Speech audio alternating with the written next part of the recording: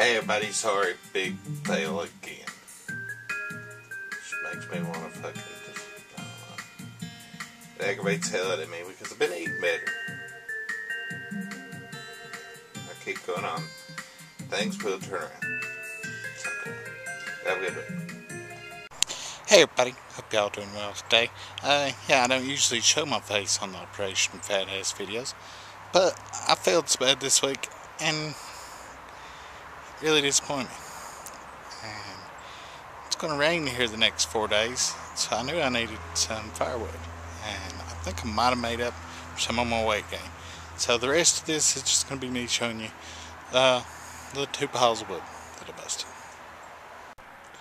This one which is about seven or eight blocks, but quite a bit of wood, probably about a week's week's burning.